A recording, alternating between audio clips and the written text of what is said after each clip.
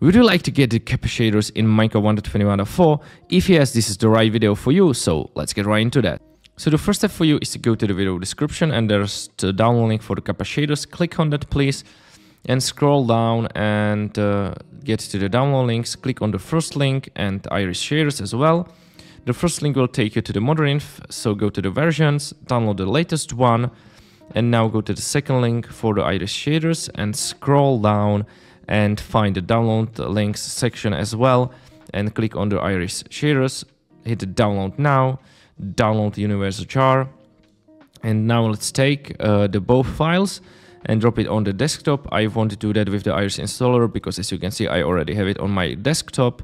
So now go to the Windows search bar, type in percent app data percent, hit enter and this will open up the roaming folder for us and now go to the .minecraft, go to the shader packs, take the Kappa shaders and drop it in here.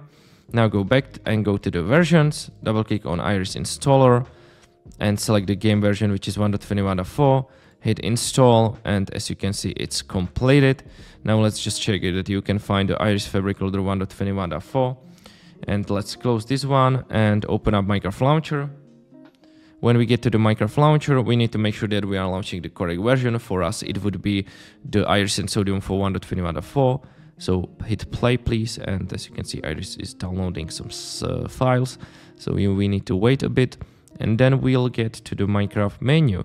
And once we get in there, we need to get to the, our single single player world, and uh, then we'll activate the shader. So let me just get to my world, hit escape, options, video settings, shader packs, and look for the Kappa shaders. Click on that and hit apply, please.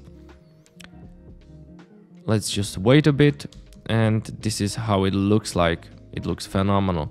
So thank you guys for watching this video and see you in the next one.